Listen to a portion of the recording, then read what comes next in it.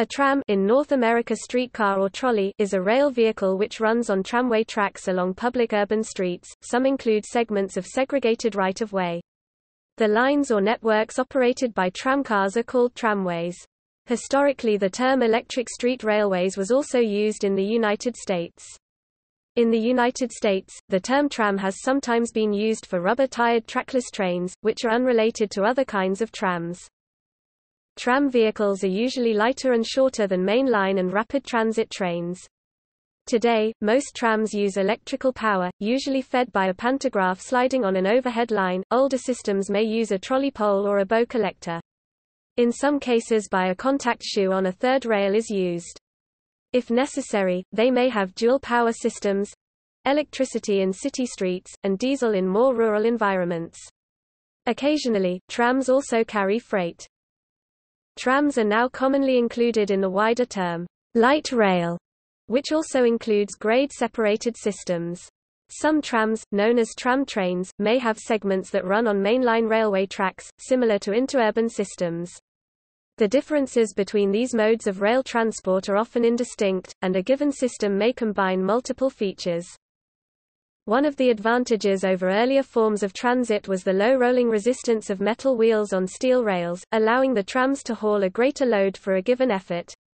Problems included the fact that any given animal could only work so many hours on a given day, had to be housed, groomed, fed and cared for day in and day out, and produced prodigious amounts of manure, which the streetcar company was charged with disposing of. Electric trams largely replaced animal power in the late 19th and early 20th century. Improvements in other forms of road transport such as buses led to decline of trams in the mid-20th century. Trams have seen resurgence in recent years.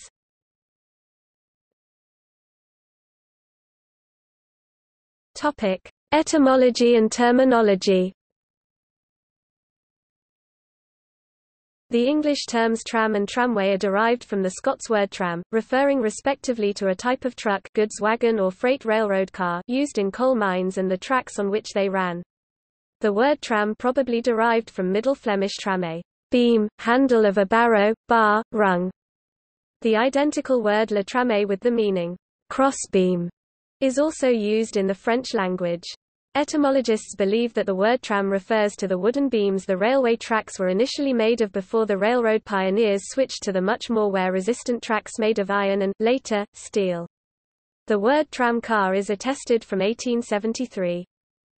Although the terms tram and tramway have been adopted by many languages, they are not used universally in English. North Americans prefer streetcar, trolley, or trolley car. The term streetcar is first recorded in 1840, and originally referred to horse cars. When electrification came, Americans began to speak of trolley cars or later, trolleys. A widely held belief holds the word to derive from the troller said to derive from the words traveler and roller, a four-wheeled device that was dragged along dual overhead wires by a cable that connected the troller to the top of the car and collected electrical power from the overhead wires. This portmanteau derivation is, however, most likely folk etymology trolley, and variants refer to the verb troll, meaning roll, and probably derived from Old French, and cognate uses of the word were well established for hand carts and horse drayage, as well as for nautical uses. The alternative North American term trolley may strictly speaking be considered incorrect, as the term can also be applied to cable cars, or conduit cars that instead draw power from an underground supply. Conventional diesel tourist buses decorated to look like streetcars are sometimes called trolleys in the U.S. tourist trolley. Furthering confusion, the term tram has instead been applied to open-sided, low-speed segmented vehicles on rubber tires generally used to ferry tourists short distances, for example on the Universal Studios backlot tour and, in many countries, as tourist transport to major destinations.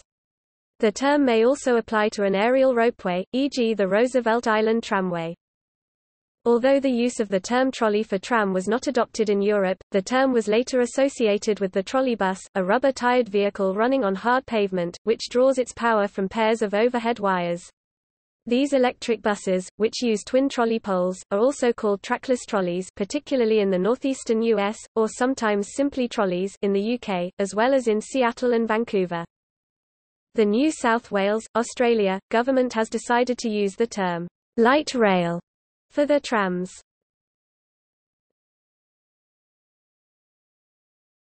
Topic: History The history of trams, streetcars or trolley systems, began in early 19th century. It can be divided up into several discrete periods defined by the principal means of motive power used.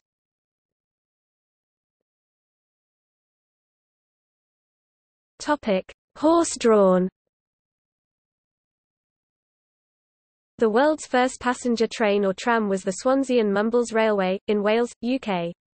The Mumbles Railway Act was passed by the British Parliament in 1804, and horse-drawn service started in 1807. The service closed in 1827, but was restarted in 1860, again using horses. It was worked by steam from 1877, and then, from 1929, by very large 106-seater electric tramcars, until closure in 1961. The Swansea and Mumbles Railway was something of a one-off however, and no street tramway would appear in Britain until 1860 when one was built in Birkenhead by the American George Francis Train. Street railways developed in America before Europe, largely due to the poor paving of the streets in American cities which made them unsuitable for horsebuses, which were then common on the well-paved streets of European cities. Running the horse cars on rails allowed for a much smoother ride. There are records of a street railway running in Baltimore as early as 1828, however the first authenticated streetcar in America, was the New York and Harlem Railroad developed by the Irish coach builder John Stevenson, in New York City which began service in the year 1832. The New York and Harlem Railroad's 4th Avenue line ran along the Bowery and 4th Avenue in New York City. It was followed in 1835 by the New Orleans and Carrollton Railroad in New Orleans, Louisiana, which still operates as the St. Charles streetcar line. Other American cities did not follow until the 1850s, after which the Animal Railway became an increasingly common feature in the larger towns. The first permanent tram line in continental Europe was opened in Paris in 1855 by Alphonse Loubat who had previously worked on American streetcar lines.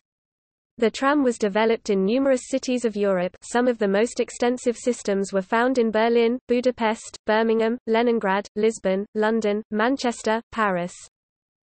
The first tram in South America opened in 1858 in Santiago, Chile. The first trams in Australia opened in 1860 in Sydney. Africa's first tram service started in Alexandria on 8 January 1863. The first trams in Asia opened in 1869 in Batavia now Jakarta, Netherlands East Indies now Indonesia.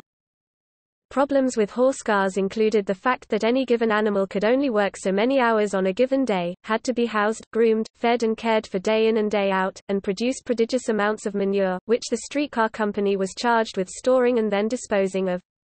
Since a typical horse pulled a streetcar for about a dozen miles a day and worked for four or five hours, many systems needed ten or more horses in stable for each horsecar.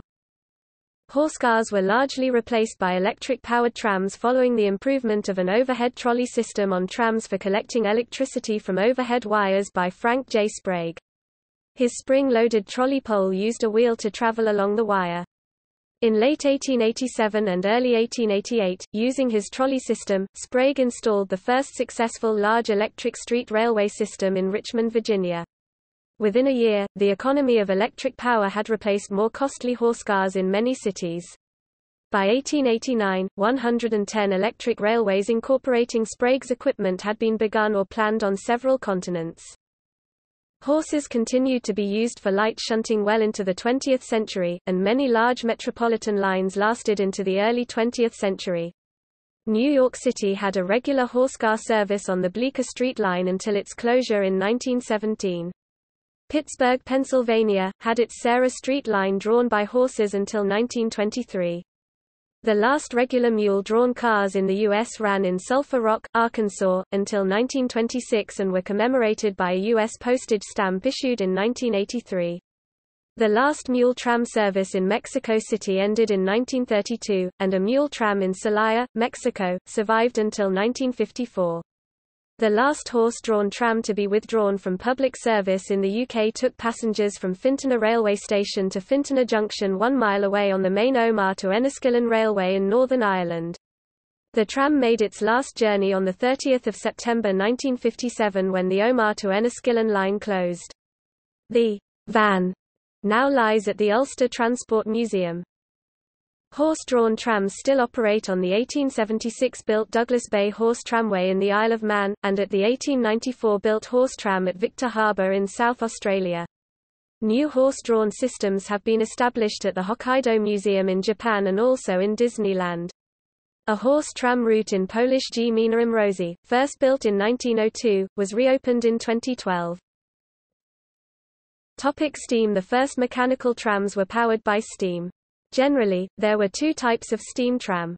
The first and most common had a small steam locomotive called a tram engine in the UK at the head of a line of one or more carriages, similar to a small train. Systems with such steam trams included Christchurch, New Zealand, Sydney, Australia, other city systems in New South Wales, Munich, Germany from August 1883 on, British India Pakistan from 1885 and the Dublin and Blessington Steam Tramway from 1888 in Ireland. Steam tramways also were used on the suburban tramway lines around Milan and Padua. The last Gamba de Legn peg leg tramway ran on the Milan Magenta Castano Primo route in late 1957. The other style of steam tram had the steam engine in the body of the tram, referred to as a tram engine UK or steam dummy US. The most notable system to adopt such trams was in Paris. French-designed steam trams also operated in Rockhampton, in the Australian state of Queensland between 1909 and 1939. Stockholm, Sweden, had a steam tram line at the island of Södermalm between 1887 and 1901. Tram engines usually had modifications to make them suitable for street running in residential areas. The wheels, and other moving parts of the machinery, were usually enclosed for safety reasons and to make the engines quieter. Measures were often taken to prevent the engines from emitting visible smoke or steam. Usually the engines used coke rather than coal as fuel to avoid emitting smoke, condensers or superheating were used to avoid emitting visible steam. A major drawback of this style of tram was the limited space for the engine, so that these trams were usually underpowered. Steam tram engines faded out around the 1890s to 1900s, being replaced by electric trams.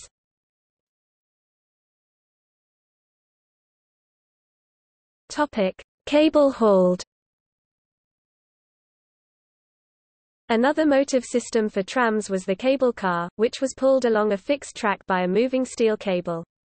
The power to move the cable was normally provided at a powerhouse site a distance away from the actual vehicle. The London and Blackwall Railway, which opened for passengers in East London, England, in 1840 used such a system. The first practical cable car line was tested in San Francisco, in 1873.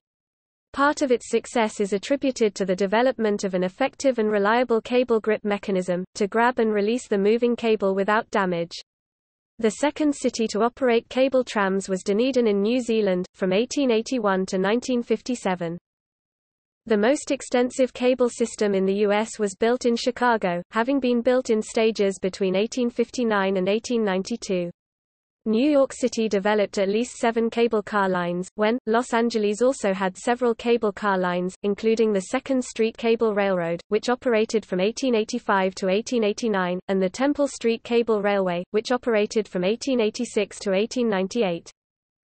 From 1885 to 1940, the city of Melbourne, Victoria, Australia operated one of the largest cable systems in the world, at its peak running 592 trams on 75 kilometres 47 miles of track.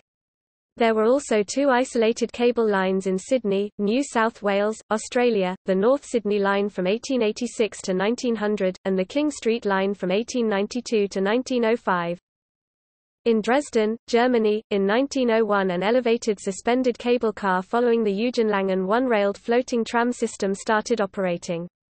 Cable cars operated on Highgate Hill in North London and Kennington to Brixton Hill in South London. They also worked around Upper Douglas in the Isle of Man from 1897 to 1929 cable car 7273 is the sole survivor of the fleet.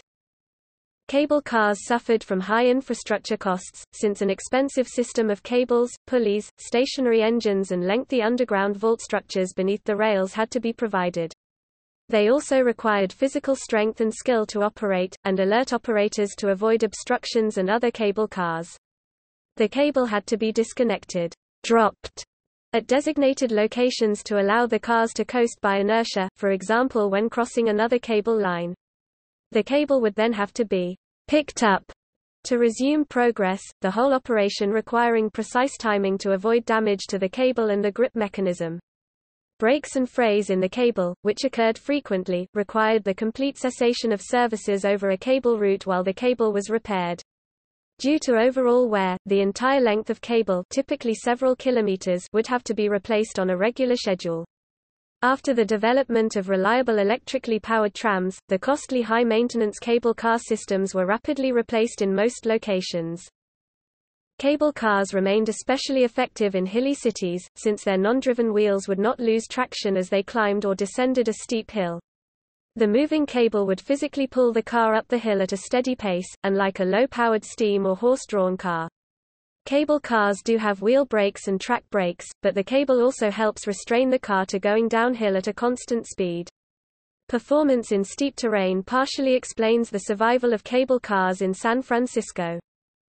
The San Francisco cable cars, though significantly reduced in number, continue to perform a regular transportation function, in addition to being a well-known tourist attraction. A single cable line also survives in Wellington, New Zealand rebuilt in 1979 as a funicular but still called the Wellington Cable Car. Another system, actually two separate cable lines with a shared power station in the middle, operates from the Welsh town of Llandudno up to the top of the Great Orme Hill in North Wales, UK.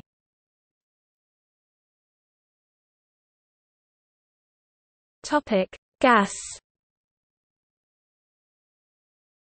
In the late 19th and early 20th centuries a number of systems in various parts of the world employed trams powered by gas, naphtha gas or coal gas in particular. Gas trams are known to have operated between Alphington and Clifton Hill in the northern suburbs of Melbourne, Australia 1886 to 1888, in Berlin and Dresden, Germany, in Estonia 1921 to 1951, between Jelenia Góra, and Sobieszów in Poland from 1897, and in the UK at Lytham St Anne's, Neath 1896 to 1920, and Trafford Park, Manchester 1897 to 1908. On 29 December 1886 the Melbourne newspaper The Argus reprinted a report from the San Francisco Bulletin that Mr. Noble had demonstrated a new motor car for tramways with success. The tramcar exactly similar in size, shape, and capacity to a cable grip car had the motive power of gas with which the reservoir is to be charged once a day at power stations by means of a rubber hose. The car also carried an electricity generator for lighting up the tram and also for driving the engine on steep grades and effecting a start. Comparatively little has been published about gas trams. However, research on the subject was carried out for an article in the October 2011 edition of The Times the Historical Journal of the Australian Association of Timetable Collectors, now the Australian Timetable Association, a tram system powered by compressed natural gas was due to open in Malaysia in 2012, but the news about the project appears to have dried up.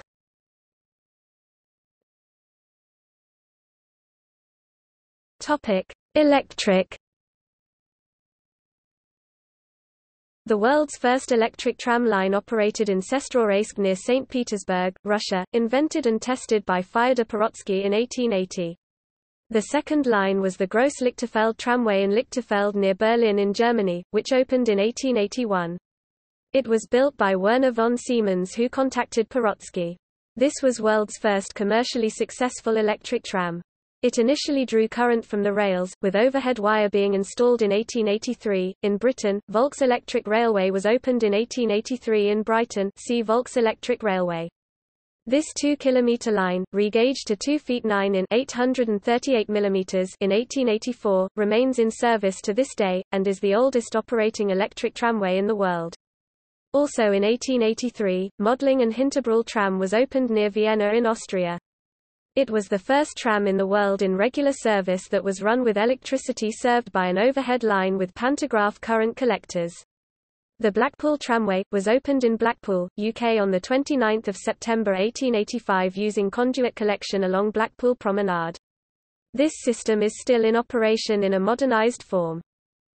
Earliest tram system in Canada was by John Joseph Wright, brother of the famous mining entrepreneur Whitaker Wright, in Toronto in 1883. In the U.S., multiple functioning experimental electric trams were exhibited at the 1884 World Cotton Centennial World's Fair in New Orleans, Louisiana, but they were not deemed good enough to replace the Lamb fireless engines then propelling the St. Charles Avenue streetcar in that city. The first commercial installation of an electric streetcar in the United States was built in 1884 in Cleveland, Ohio and operated for a period of one year by the East Cleveland Street Railway Company. Trams were operated in Richmond, Virginia, in 1888, on the Richmond Union Passenger Railway built by Frank J. Sprague. Sprague later developed multiple unit control, first demonstrated in Chicago in 1897, allowing multiple cars to be coupled together and operated by a single motorman. This gave rise to the modern subway train. Following the improvement of an overhead trolley System on streetcars for collecting electricity from overhead wires by Sprague. Electric tram systems were rapidly adopted across the world. Earlier installations proved difficult or unreliable. Siemens Line, for example, provided power through a live rail and a return rail, like a model train, limiting the voltage that could be used, and delivering electric shocks to people and animals crossing the tracks. Siemens later designed his own version of overhead current collection, called the Bow Collector, and Thorold, Ontario, opened in 1887, and was considered quite successful at the time. While this line proved quite versatile as one of the earliest fully functional electric streetcar installations, it required horse-drawn support while climbing the Niagara Escarpment and for two months of the winter when hydroelectricity was not available. It continued in service in its original form into the 1950s. Sidney Howe Short designed and produced the first electric motor that operated a streetcar without gears. The motor had its armature direct connected to the streetcar's axle for the driving force. Short pioneered use of a conduit system of concealed feed, thereby eliminating the necessity of overhead wire and a trolley pole for streetcars and railways. While at the University of Denver he conducted important experiments which established that multiple unit-powered cars were a better way to operate trains and trolleys. Sarajevo built a citywide system of electric trams in 1895.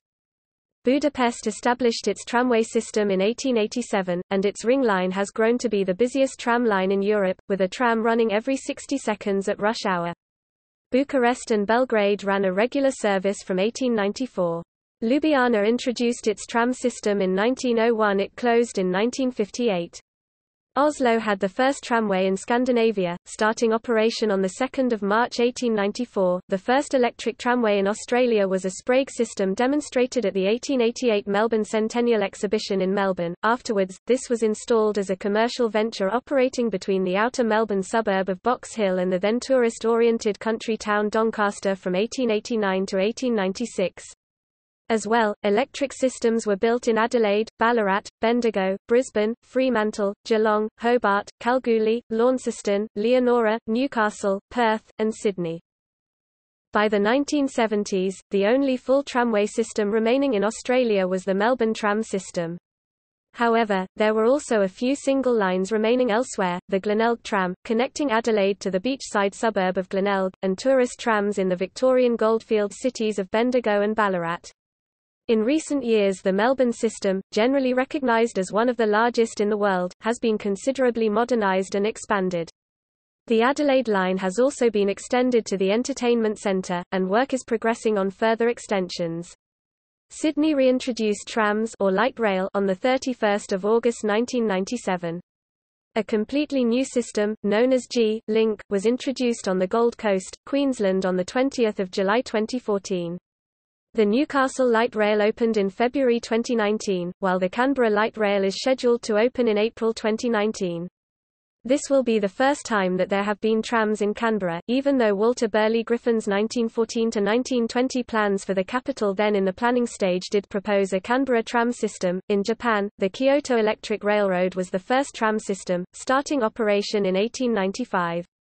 By 1932, the network had grown to 82 railway companies in 65 cities, with a total network length of 1,479 kilometers (919 miles). By the 1960s the tram had generally died out in Japan. Two rare but significant alternatives were conduit current collection, which was widely used in London, Washington, D.C. and New York City, and the surface contact collection method, used in Wolverhampton the Lorraine system, Torquay and Hastings in the UK the Dolter stud system, and currently in Bordeaux, France the ground-level power supply system. The convenience and economy of electricity resulted in its rapid adoption once the technical problems of production and transmission of electricity were solved. Electric trams largely replaced animal power and other forms of motive power including cable and steam, in the late 19th and early 20th centuries. There is one particular hazard associated with trams powered from a trolley pole off an overhead line. Since the tram relies on contact with the rails for the current return path, a problem arises if the tram is derailed or more usually, if it halts on a section of track that has been particularly heavily sanded by a previous tram, and the tram loses electrical contact with the rails. In this event, the underframe of the tram, by virtue of a circuit path through ancillary loads such as interior lighting, is live at the full supply voltage, typically 600 volts.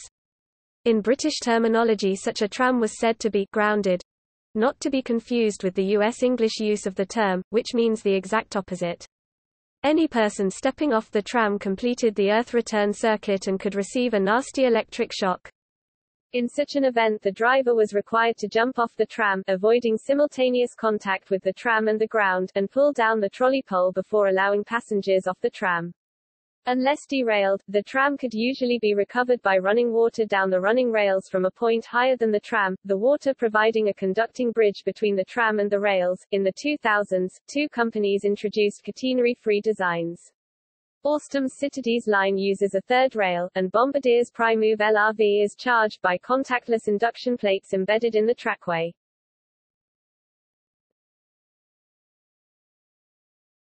Topic. Other power sources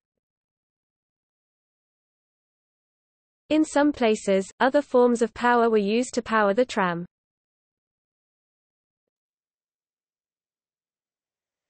Topic: Battery. As early as 1834, Thomas Davenport, a Vermont blacksmith, had invented a battery-powered electric motor which he later patented.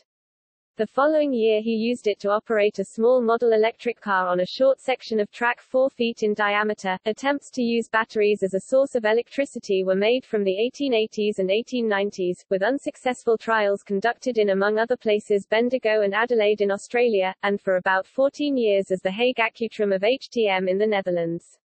The first trams in Bendigo, Australia, in 1892, were battery-powered but within as little as three months they were replaced with horse-drawn trams. In New York City some minor lines also used storage batteries. Then, comparatively recently, during the 1950s, a longer battery-operated tramway line ran from Milan to Bergamo. In China there is a Nanjing battery tram line and has been running since 2014. Topic: Compressed air. Paris-operated trams that were powered by compressed air using the Mekarski system. Topic: Human power. The convict tramway was hauled by human power in the form of convicts from the Port Arthur convict settlement, and was created to replace the hazardous sea voyage from Hobart to Port Arthur, Tasmania. Charles O'Hara Booth oversaw the construction of the tramway. It opened in 1836 and ran for 8 kilometers, 5 miles, from Oakwood to Taranna. By most definitions, the tramway was the first passenger-carrying railway tramway in Australia. An unconfirmed report says that it continued to Eaglehawk Neck and, if this was so, the length of the tramway would have been more than doubled. The tramway carried passengers and freight, and ran on wooden rails. The gauge is unknown. The date of closure is unknown, but it was certainly prior to 1877.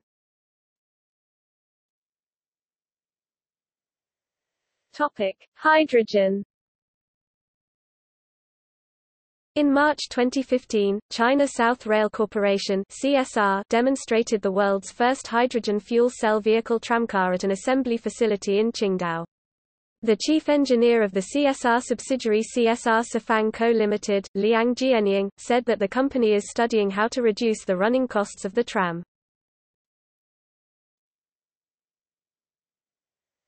Topic: Hybrid The Trieste-Opicina tramway in Trieste operates a hybrid funicular tramway system. Conventional electric trams are operated in street running and on reserved track for most of their route. However, on one steep segment of track, they are assisted by cable tractors, which push the trams uphill and act as brakes for the downhill run. For safety, the cable tractors are always deployed on the downhill side of the tram vehicle. Similar systems were used elsewhere in the past, notably on the Queen Anne counterbalance in Seattle and the Darling Street Wharf Line in Sydney. Topic: Liquid fuel. Hastings and some other tramways, for example Stockholm Spårvägar in Sweden and some lines in Karachi, used petrol trams. Galveston Island Trolley in Texas operated diesel trams due to the city's hurricane-prone location, which would result in frequent damage to an electrical supply system. Although Portland, Victoria promotes its tourist tram as being a cable car it actually operates using a hidden diesel motor. The tram, which runs on a circular route around the town of Portland, uses dummies and salons formerly used on the extensive Melbourne cable tramway system and now beautifully restored.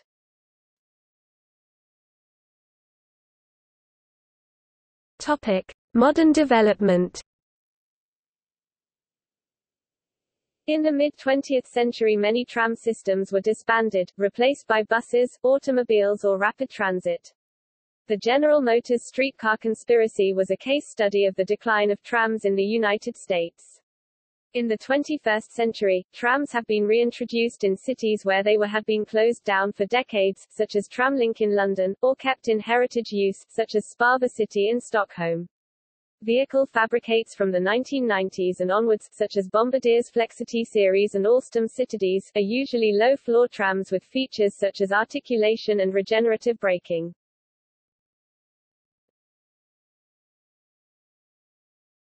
Topic. Design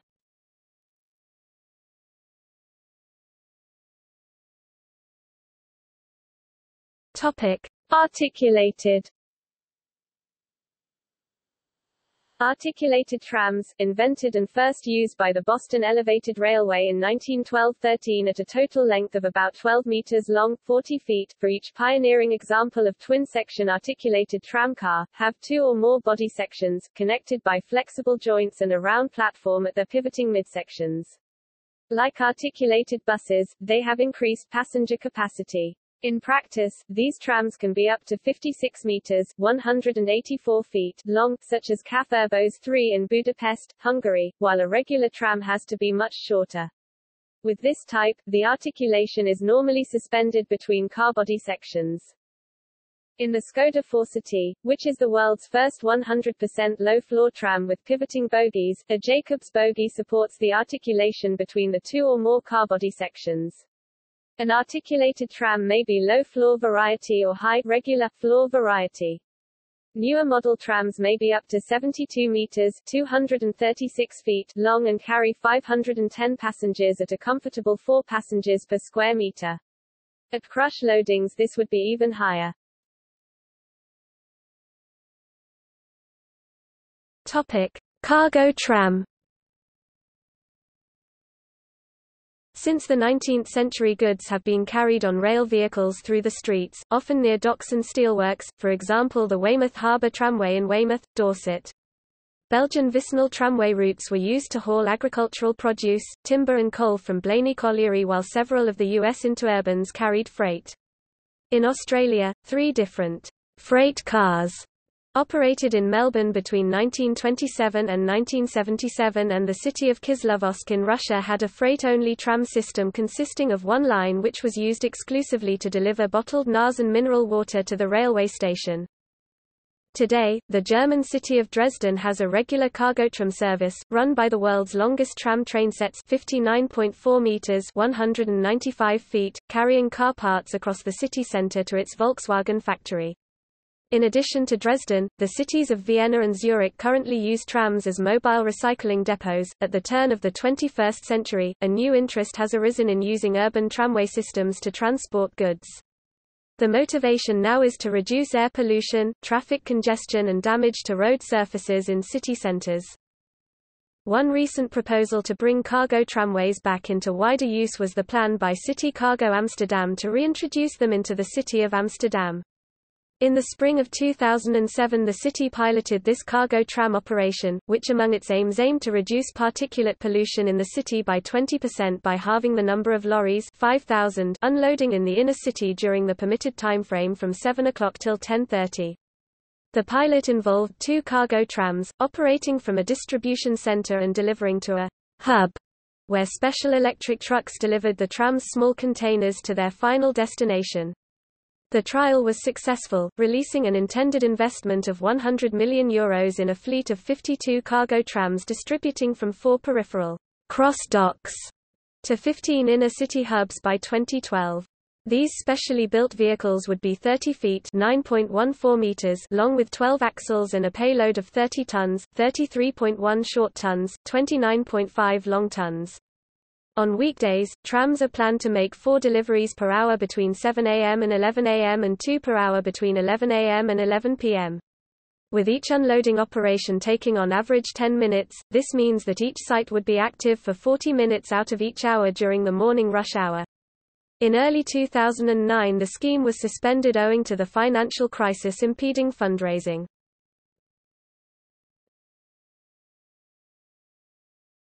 Topic: Dog car.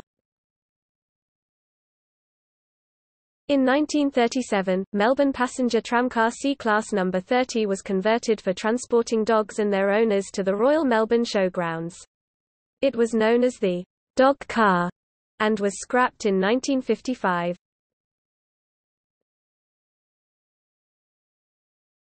Topic: Double-decker. A double-decker tram is a tram that has two levels. Some double-decker trams have open tops. The earliest double-deck trams were horse-drawn. The first electric double-deck trams were those built for the Blackpool Tramway in 1898, one of which survives at the National Tramway Museum. Double-decker trams were commonplace in Great Britain and Dublin, Ireland before most tramways were torn up in the 1950s and 1960s. New York City's New York Railways experimented in 1912 with a Brill double-deck Hedley-Doyle stepless center entrance car, nicknamed the Broadway Battleship, a term that spread to other large streetcars. Hobart, Tasmania, Australia made extensive use of double-decker trams.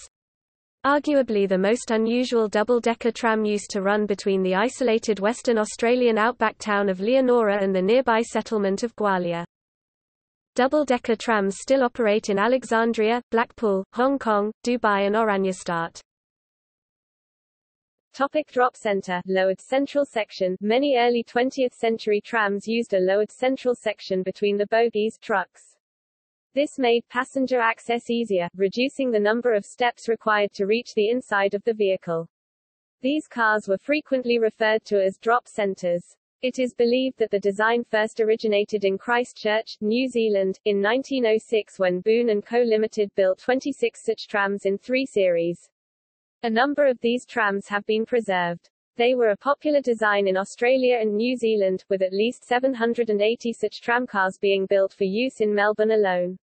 Trams built since the 1970s have had conventional high or low floors.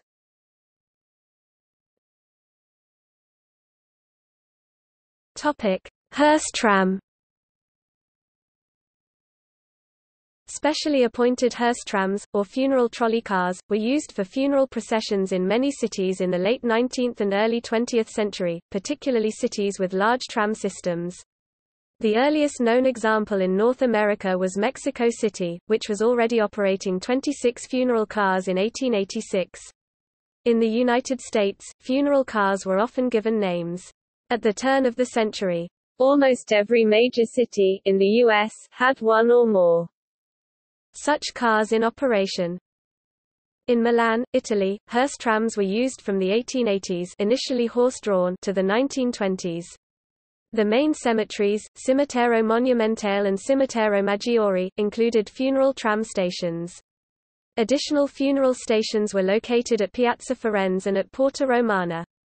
In the mid-1940s at least one special hearse tram was used in Turin, Italy. It was introduced due to the wartime shortage of automotive fuel.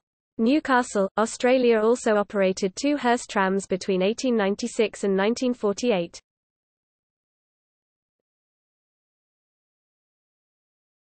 Topic: Low floor.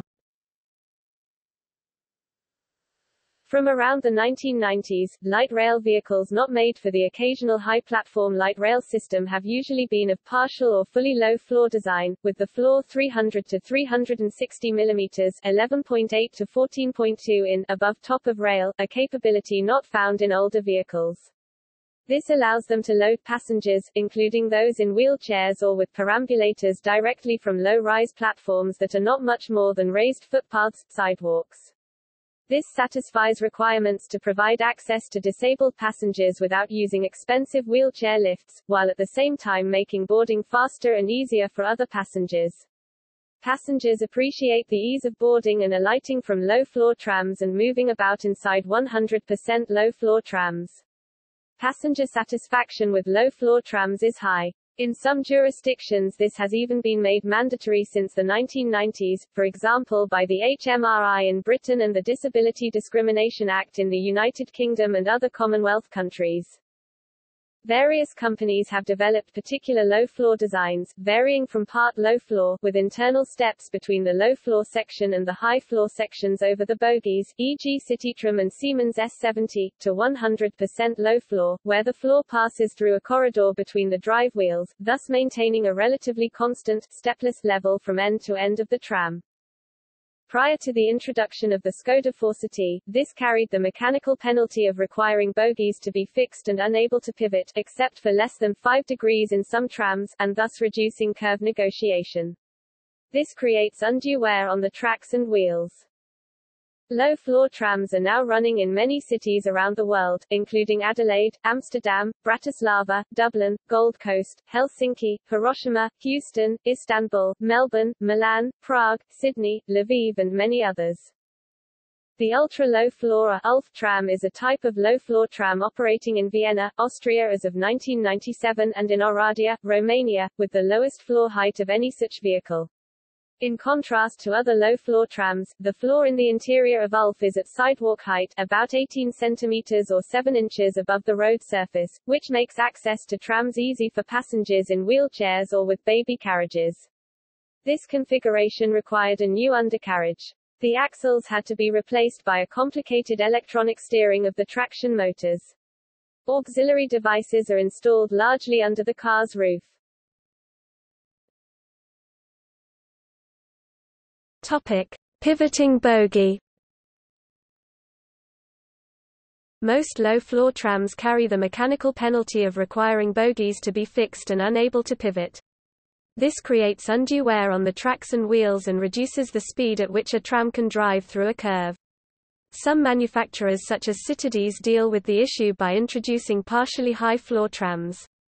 Others, such as Skoda, developed pivoting bogies at the ends and with Jacobs bogies between the articulations for the Skoda 15T, but this solution proved expensive.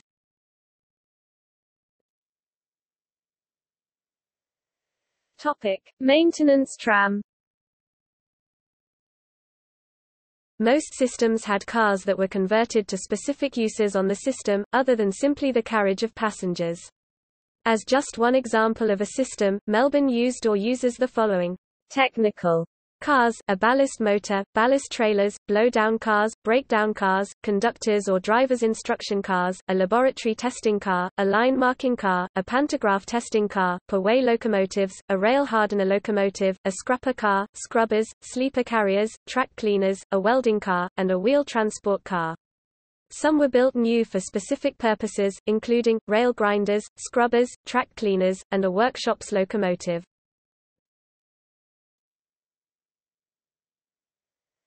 Topic. Mobile library service Munich tram number 24, delivered in 1912, was refurbished as a mobile library in 1928.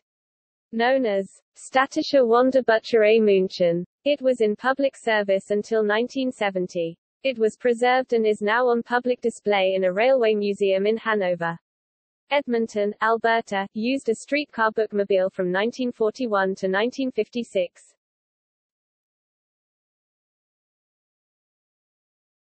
Topic: Nursery tram.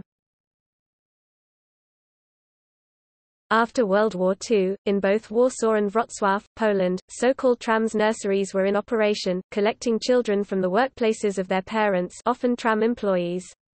These mobile nurseries either carried the children around the system or delivered them to the nursery school run by transport company.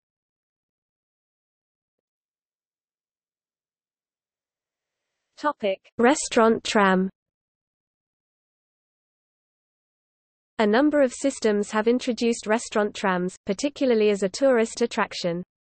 This is specifically a modern trend.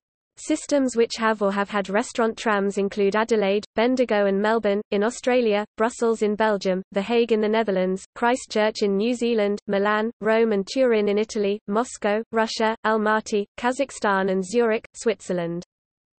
Restaurant trams are particularly popular in Melbourne where three of the iconic W-class trams have been converted.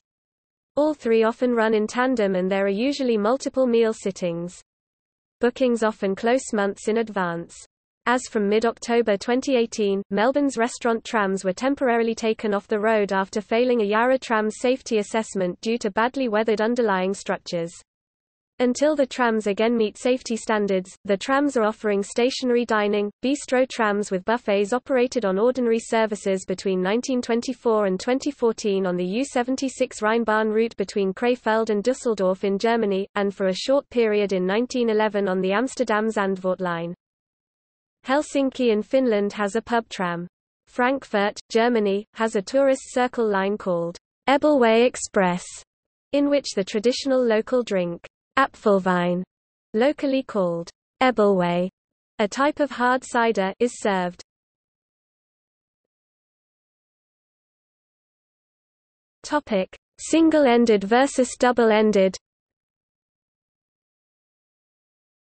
A double-ended tram has an operator's cab and controls at each end of the vehicle, which allows it to easily be driven at full speed in either direction on a continuous segment of track. Typically at the end of a run, the tram's operator will walk from one end of the tram to the other, and then commence the tram route in the other direction. The tram is usually switched to another track by use of crossover points or Y points. Conversely, a single-ended vehicle needs a method of turning at termini so that the operator's cab is in the front of the tram for the reverse journey. This usually necessitates a turning loop or triangle. On the other hand, the single cabin controls and fewer door spaces make the tram lighter, increases passenger accommodation including many more seats and affects reductions in equipment, weight, first cost, maintenance cost, and operating expense. A single-ended tram has operator's controls at only one end, and can safely be driven at speed in the forward direction but is also capable of reverse movement, typically at slower speed, using a small set of controls at the rear. The configuration of the doors is usually asymmetrical, favoring the side expected to be closest to the street curb and footpath. At the end of a run, the tram must be turned around via a balloon loop or some other method, to face in the opposite direction for a return trip. In addition, if overhead electrical power is fed from a trolley pole, the direction of the trolley pole must be reversed at the end of the run, to ensure that the pole is pulled behind or trailing the vehicle, to avoid dewiring. This was achieved by a member of the crew swinging the pole through 180 degrees if there was only one pole or lowering one pole and raising the other if there were two. More commonly nowadays, a bidirectional pantograph may be used to feed power, eliminating the need for an extra procedure when reversing direction. Two single-ended trams with doors on both sides may be coupled into a semi-permanently coupled married pair or twinset, with operators' controls at each end of the combination. Such a setup is operated as if it were a double-ended tram, except that the operator must exit one vehicle and enter the other, when reversing at the end of the run.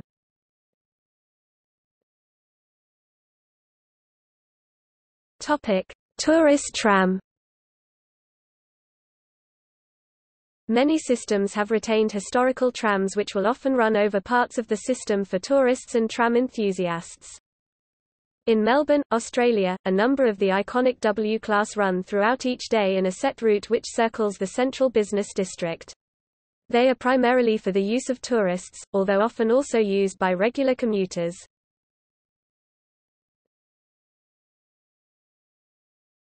Topic: Tram train. A tram train is a light rail public transport system where trams run through from an urban tramway network to main line railway lines which are shared with conventional trains. This allows passengers to travel from suburban areas into city center destinations without having to change from a train to a tram. Tram train operation uses vehicles such as the Flexity Link and Regio Alstom Citadis, which are suited for use on urban tram lines and also meet the necessary indication, power, and strength requirements for operation on mainline railways. It has been primarily developed in Germanic countries, in particular Germany and Switzerland. Karlsruhe is a notable pioneer of the tram train. Topic. Contractors Mobile Office Two former passenger cars from the Melbourne system were converted and used as mobile offices within the Preston workshops between 1969 and 1974, by personnel from Commonwealth Engineering and ASEA who were connected with the construction of Melbourne's Z-Class cars.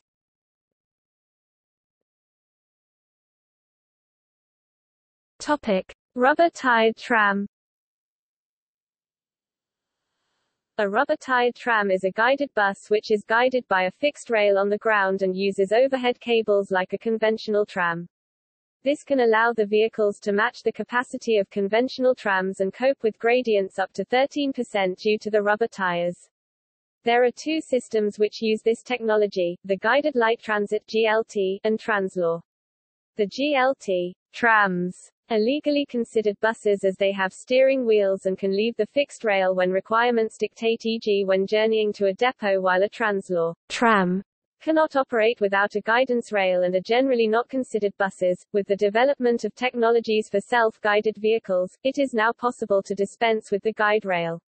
The autonomous rail rapid transit system planned for Zhuzhou in China follows a virtual track.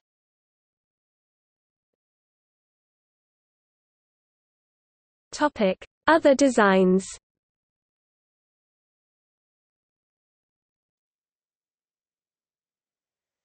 Topic: Modern styling. The Eurotram series was developed by Socimi of Italy. It is used by Strasbourg, Milan, and Porto. The Eurotram has a modern design that makes it look almost as much like a train as a tram, and has large windows along its entire length.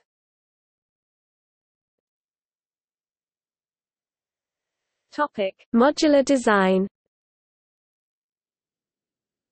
The Citadis tram, flagship of the French manufacturer Alstom, enjoys an innovative design combining lighter bogies with a modular concept for carriages providing more choices in the types of windows and the number of cars and doors.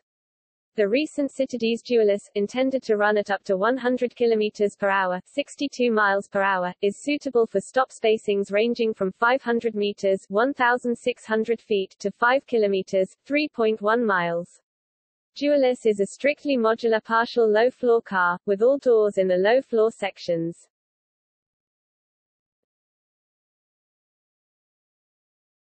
Topic. Operation There are two main types of tramways, the classic tramway built in the early 20th century with the tram system operating in mixed traffic, and the later type which is most often associated with the tram system having its own right-of-way. Tram systems that have their own right-of-way are often called light rail but this does not always hold true. Though these two systems differ in their operation, their equipment is much the same.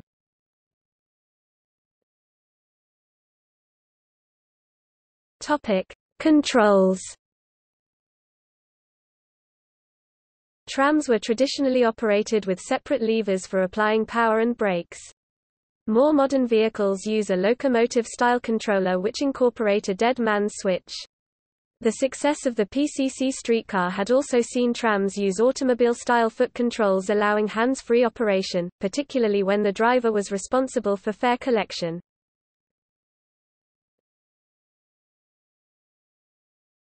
Topic: Power supply. Electric trams use various devices to collect power from overhead lines. The most common device found today is the pantograph, while some older systems use trolley poles or bow collectors. Ground-level power supply has become a recent innovation. Another new technology uses supercapacitors, when an insulator at a track switch cuts off power from the tram for a short distance along the line, the tram can use energy stored in a large capacitor to drive the tram past the gap in the power feed. A rather obsolete system for power supply is conduit current collection. The old tram systems in London, Manhattan, New York City, and Washington, D.C., used live rails, like those on third-rail electrified railways, but in a conduit underneath the road, from which they drew power through a plow. It was called conduit current collection. Washington's was the last of these to close, in 1962. Today, no commercial tramway uses this system. More recently, a modern equivalent to these systems has been developed which allows for the safe installation of a third rail on city streets, which is known as surface current collection or ground-level power supply. The main example of this is the new tramway in Bordeaux.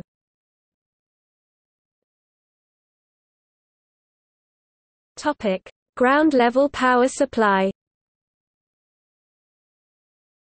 A ground-level power supply system also known as Surface Current Collection or Alimentation par le sol APS is an updated version of the original stud-type system.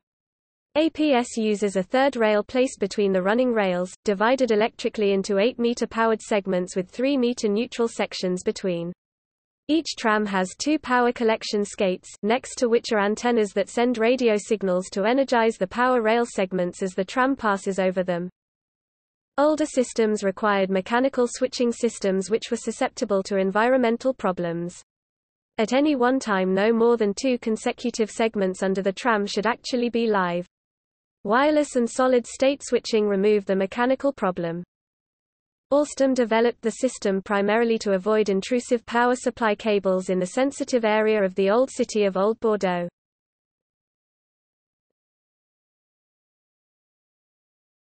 Topic: Route Route patterns vary greatly among the world's tram systems, leading to different network topologies. Most systems start by building up a strongly nucleated radial pattern of routes linking the city center with residential suburbs and traffic hubs such as railway stations and hospitals, usually following main roads. Some of these, such as those in Hong Kong, Blackpool, Ulm and Bergen, still essentially comprise a single route. Some suburbs may be served by loop lines connecting two adjacent radial roads. Some modern systems have started by reusing existing radial railway tracks, as in Nottingham and Birmingham, sometimes joining them together by a section of street track through the city centre, as in Manchester. Later developments often include tangential routes linking adjacent suburbs directly, or multiple routes through the town centre to avoid congestion, as in Manchester's second city crossing. Other new systems, particularly those in large cities which already have well-developed metro and suburban railway systems, such as London and Paris, have started by building isolated suburban lines feeding into railway or metro stations. In Paris these have then been linked by ring lines. A third, weakly nucleated, route pattern may grow up where a number of nearby small settlements are linked, such as in the coal mining areas served by BOGESTRA or the Silesian interurbans. A fourth starting point may be a loop in the city center, sometimes called a downtown circulator, as in Portland, Oregon El Paso. Occasionally a modern tramway system may grow from a preserved heritage line, as in Stockholm, the resulting route patterns are very different. Some have a rational structure, covering the catchment area as efficiently as possible, with new suburbs being planned with tram lines integral to their layout, such is the case in Amsterdam. Bordeaux and Montpellier have built comprehensive networks, based on radial routes with numerous interconnections, within the last two decades. Some systems serve only parts of their cities, with Berlin being the prime example, owing to the fact that trams survived the city's political division only in the eastern part. Other systems have ended up with a rather random route map, for instance when some previous operating companies have ceased operation, as with the tramways Versinor, Buurtspoorwegen in Brussels, or where isolated outlying lines have been preserved, as on the eastern fringe of Berlin. In Rome, the remnant of the system comprises three isolated radial routes, not connecting in the ancient city center, but linked by a ring route. Some apparently anomalous lines continue in operation where a new line would not on rational grounds be built, because it is much more costly to build a new line than continue operating an existing one. In some places, the opportunity is taken when roads are being repaved to lay tram lines, though without erecting overhead cables, even though no service is immediately planned. Such is the case in Leipziger Strasse in Berlin, the Haarlemmer Houttuinen in Amsterdam, and Bottermarkt in Ghent. Tram systems operate across national borders in Basel, from Switzerland into France and Germany, and Strasbourg, from France into Germany. It is planned to open a line linking Hasselt, Belgium, with Maastricht, Netherlands, in 2021.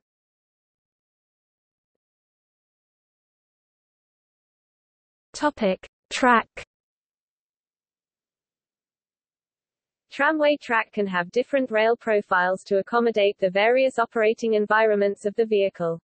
They may be embedded into concrete for street running operation, or use standard ballasted track with railroad ties on high-speed sections. A more ecological solution is to embed tracks into grass turf. Tramway tracks use a grooved rail with a groove designed for tramway or railway track in pavement or grassed surfaces, grass track or track in a lawn. The rail has the railhead on one side and the guard on the other. The guard provides accommodation for the flange. The guard carries no weight, but may act as a check rail. Grooved rail was invented in 1852 by Alphonse Loubat, a French inventor who developed improvements in tram and rail equipment, and helped develop tram lines in New York City and Paris. The invention of grooved rail enabled tramways to be laid without causing a nuisance to other road users, except unsuspecting cyclists, who could get their wheels caught in the groove. The grooves may become filled with gravel and dirt, particularly if infrequently used or after a period of idleness, and need clearing from time to time, this being done by a scrubber tram. Failure to clear the grooves can lead to a bumpy ride for the passengers, damage to either wheel or rail and possibly derailing. In narrow situations double-track tram lines sometimes reduce to single-track, or, to avoid switches, have the tracks interlaced, e.g. in the Leidsestraat in Amsterdam on three short stretches, see map detail. This is known as interlaced or gauntlet track. There is a UK example of interlaced track on the tramlink, just west of Mitcham Station, where the formation is narrowed by an old landslip causing an obstruction. See photo in tramlink entry. Topic: Track gauge. Historically, the track gauge has had considerable variations, with narrow gauge common in many early systems. However, most light rail systems are now standard gauge. An important advantage of standard gauge is that standard railway maintenance equipment can be used on it, rather than custom-built machinery. Using standard gauge also allows light rail vehicles to be delivered and relocated conveniently using freight railways and locomotives. Another factor favoring standard gauge is that low-floor vehicles are becoming popular, and there is generally insufficient space for wheelchairs to move between the wheels in a narrow gauge layout. Standard gauge also enables, at least in theory, a larger choice of manufacturers and thus lower procurement costs for new vehicles. However, other factors such as electrification or loading gauge for which there is more variation may require costly custom-built units regardless.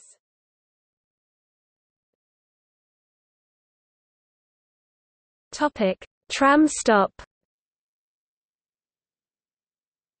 Tram stops may be similar to bus stops in design and use, particularly in street running sections, where in some cases other vehicles are legally required to stop clear of the tram doors. Some stops may resemble to railway platforms, particularly in private right-of-way sections and where trams are boarded at standard railway platform height, as opposed to using steps at the doorway or low-floor trams.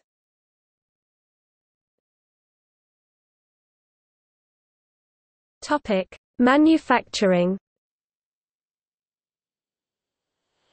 Approximately 5,000 new trams are manufactured each year. As of February 2017, 4,478 new trams were on order from their makers, with options being open for a further 1,092. The main manufacturers are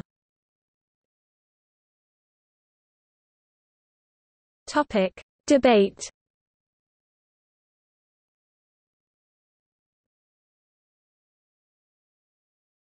Topic. Advantages Trams and road public transport in general can be much more efficient in terms of road usage than cars. One vehicle replaces about 40 cars which take up a far larger area of road space.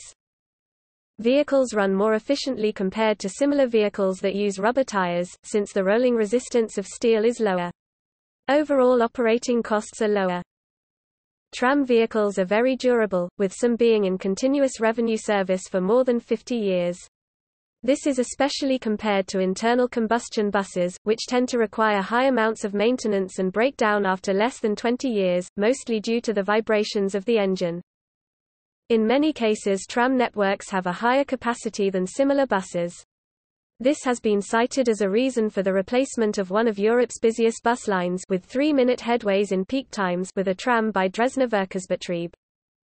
Trams and light rail systems can be cheaper to install than subways or other forms of heavy rail.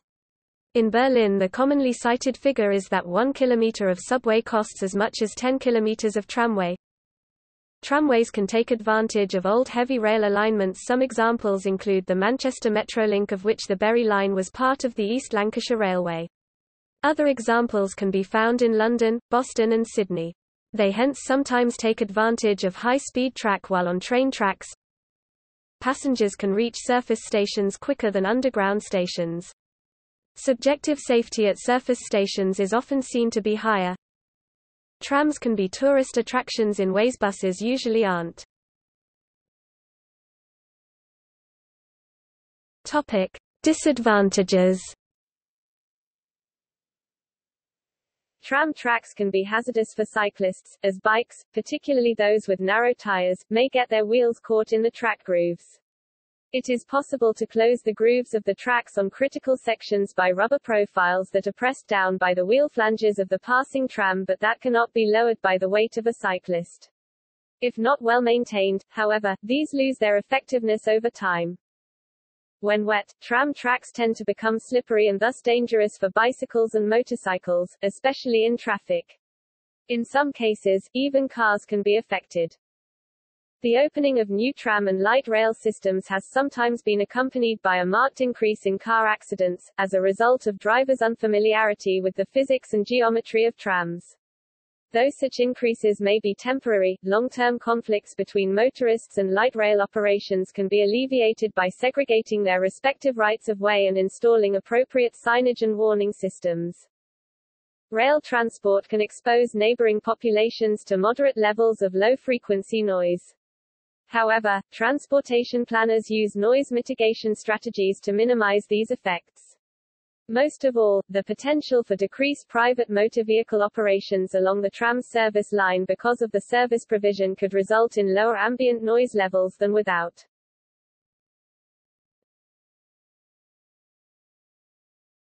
Topic. By region Trams are in a period of growth, with about 800 tram systems operating around the world, 10 or so new systems being opened each year, and many being gradually extended. Some of these systems date from the late 19th or early 20th centuries. In the past 20 years their numbers have been augmented by modern tramway or light rail systems in cities that had discarded this form of transport. There have also been some new tram systems in cities that never previously had them. Tramways with tramcars British English, or street railways with streetcars North American English, were common throughout the industrialized world in the late 19th and early 20th centuries but they had disappeared from most British, Canadian, French and U.S. cities by the mid-20th century. By contrast, trams in parts of continental Europe continued to be used by many cities, although there were contractions in some countries, including the Netherlands. Since 1980 trams have returned to favor in many places, partly because their tendency to dominate the roadway, formerly seen as a disadvantage, is now considered to be a merit since it raises the visibility of public transport, encouraging car users to change their mode of travel, and enables streets to be reconfigured to give more space to pedestrians, making sites more pleasant places to live. New systems have been built in the United States, Great Britain, Ireland, Italy, France, Australia and many other countries.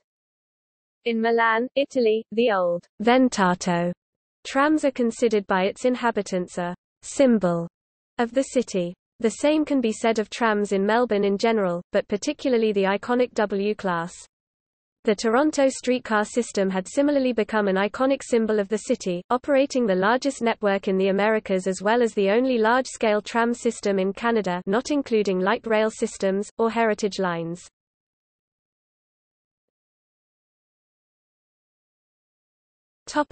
Major tram and light rail systems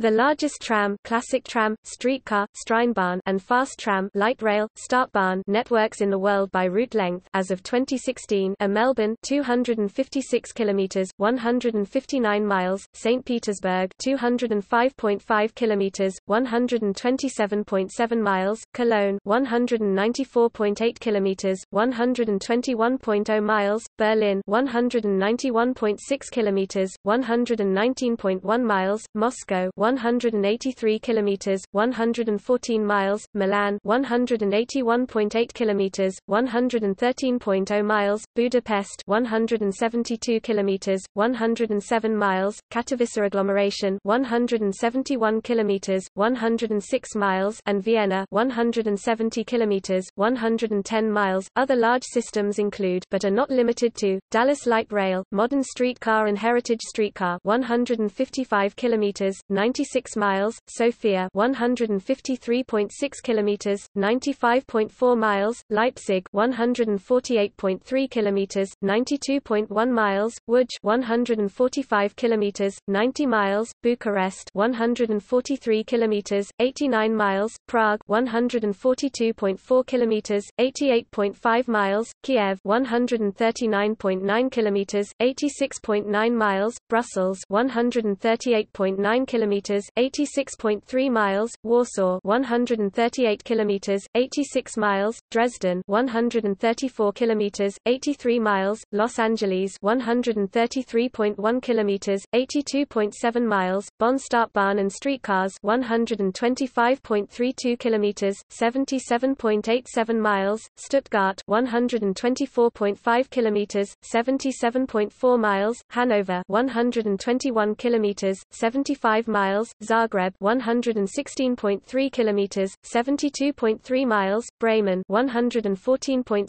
kilometers, 71.2 miles, Portland metropolitan area light rail and streetcars 108.2 kilometers, 67.2 miles, Paris 104.9 kilometers, 65.2 miles, Mannheim, Ludwigshafen 103.4 kilometers, 64.2 miles, Riga 99.52 kilometers, 61 1.84 miles, Gothenburg 95 kilometers, 59 miles, Kassel 93.3 kilometers, 58.0 miles, Manchester 92.5 kilometers, 57.5 miles, Krakow 90 kilometers, 56 miles, Dnipro 87.8 kilometers, 54.6 miles, Halle Saale 87.6 kilometers, 54.4 miles, San Diego 86.1 kilometers, 53.5 miles, Pavlodar 86 6 kilometers, 53 miles, Turin 84 kilometers, 52 miles, Bochum, Gelsenkirchen 84 kilometers, 52 miles, Zurich 84 kilometers, 52 miles, Toronto 83 kilometers, 52 miles, Amsterdam 80.5 kilometers, 50.0 miles, Munich 79 kilometers, 49 miles, Antwerp 79 kilometers, N49 Mi, Denver 76 kilometers, 47 miles, Iași 76 kilometers,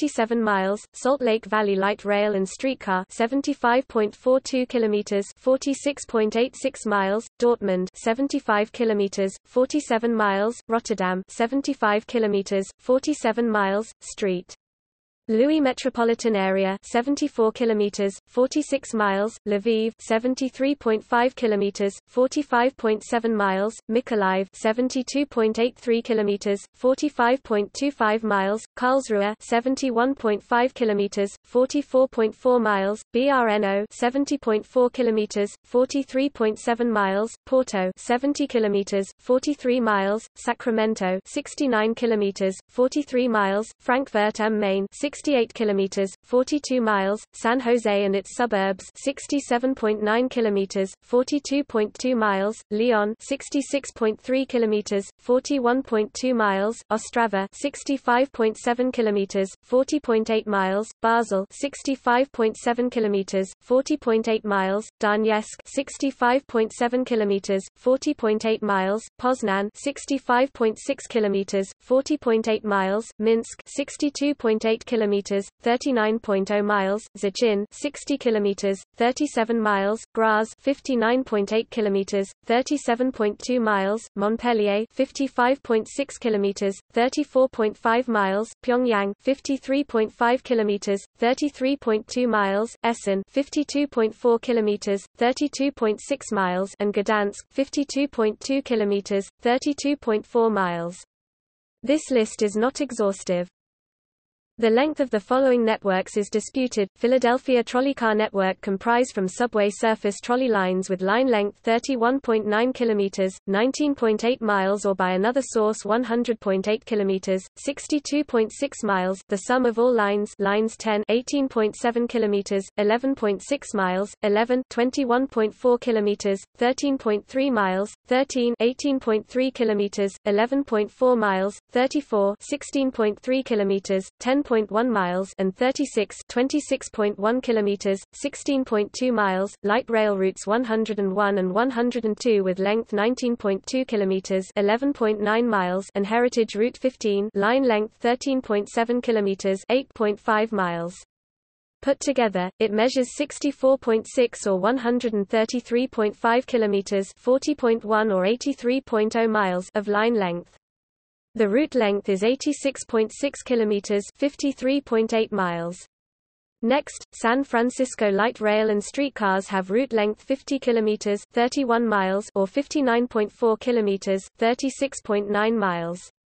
Except it, in city is 8.3 kilometers, 5.2 miles of cable car.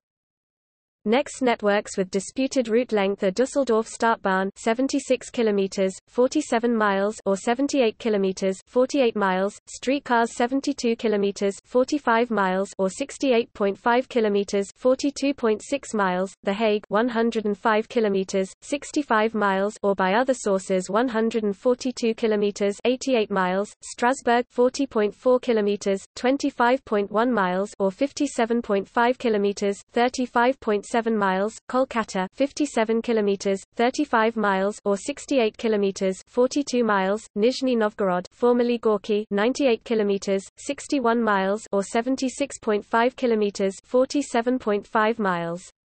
This list is not exhaustive. The longest single tram line in the world is the 68 kilometers 42 miles Belgian coast tram, which runs almost the entire length of the Belgian coast. Another fairly long line is the Valley Metro Rail in Phoenix, Arizona, with its 42 kilometers 26 miles. Historically, the Paris tram system was, at its peak, the world's largest system, with 1,111 kilometers 690 miles of track in 1925 according to other sources, ca. 640 kilometers 400 miles of route length in 1930.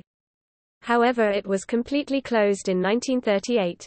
The next largest system appears to have been 857 kilometers (533 miles) in Buenos Aires before the 19th of February 1963. The third largest was Chicago, with over 850 kilometers (530 miles) of track, but it was all converted to trolleybus and bus services by the 21st of June 1958. Before its decline, the BVG in Berlin operated a very large network with 634 kilometers (394 miles) of route. Before its system started to be converted to trolleybus and later bus services in the 1930s, last tramway closed the 6th of July 1952. The first generation London network had 555 kilometers (345 miles) of route in 1931. In 1958 trams in Rio de Janeiro were employed on 433 kilometers 269 miles of track. The final line, the Santa Teresa route was closed in 1968. During a period in the 1980s, the world's largest tram system was in Leningrad now known as St. Petersburg with 350 kilometers 220 miles, USSR, and was included as such in the Guinness World Records. However St. Petersburg's tram system has declined in size since the fall of the Soviet Union. Wiena Vienna in 1960 had 340 kilometers 211 miles before the expansion of bus services and the opening of a subway 1976. Substituting subway services for tram routes continues. 320 kilometers 199 miles was in Minneapolis-St. Paul in 1947. Their streetcars ended the 31st of October 1953 in Minneapolis and the 19th of June 1954 in St. Paul. The Sydney Tram Network, before it was closed on the 25th of February 1961, had 291 kilometres 181 miles of route, and was thus the largest in Australia. As from 1961, the Melbourne system currently recognised as the world's largest took over Sydney's title as the largest network in Australia.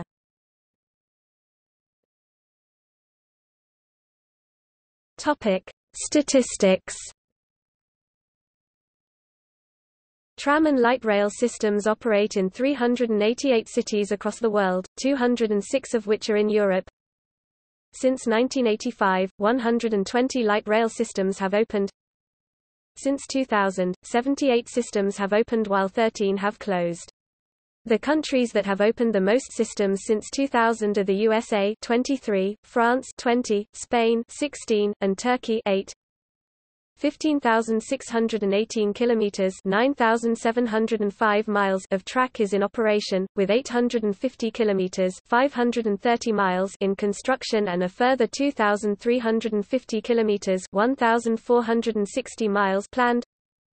The longest systems are in Melbourne 254 kilometers or 158 miles, St Petersburg 228 kilometers or 142 miles, Katowice Upper Silesian Industrial Region 200 kilometers or 120 miles, Cologne 193 kilometers or 120 miles, Berlin 192 kilometers or 119 miles, Milan 182 kilometers or 113 miles, Budapest 170 92 kilometers or 107 miles, and Vienna 170 kilometers or 110 miles.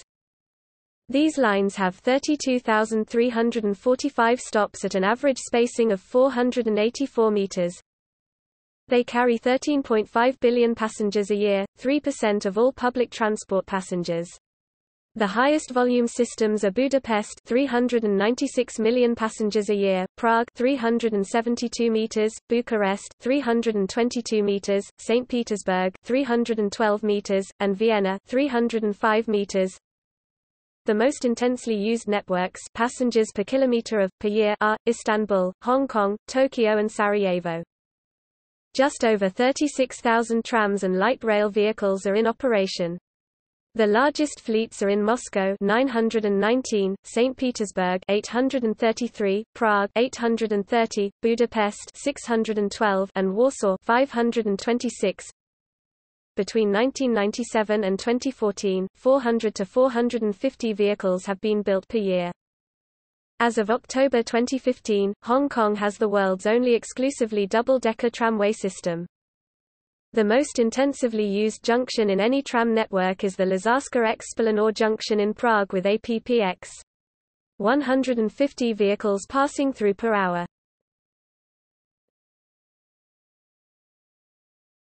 Topic: Africa.